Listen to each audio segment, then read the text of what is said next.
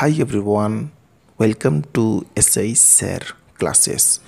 Today in this video, bisecting or divide 85 degree angle in easy way. So please watch the video till the end. So let's start the video.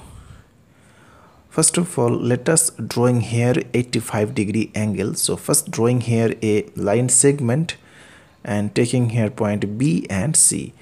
Now with the help of protractor, so first putting the protractor on the point B perfectly. Now counting 85 degree. So this is starting 0, then 10, 20, 30, 40, 50, 60, 70, 80, 90 and between 90 to 80 we can find 85 so this is 85 degree angle. So between 90 to 80 okay. Now joining this line to get here 85 degree angle next taking here point a so angle abc 85 degree. Next bisecting this angle so putting the compass on the point b and taking any length so first drawing here arc by this way. Okay. Next putting the compass here with same length and drawing an arc here and putting the compass here and cut here. Okay. So now joining this line so this bisect the angle ABC now taking point here D. Okay.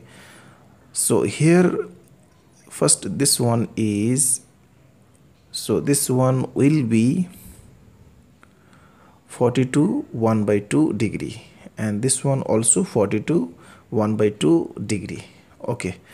So therefore here angle ABC so angle ABC that is 85 degree and angle ABD so first angle ABD that is equal with angle DBC and both are 85 by 2 so dividing by 2 this is obviously 42 1 by 2 degree. So that's all. Thanks for watching. Please share it with your friends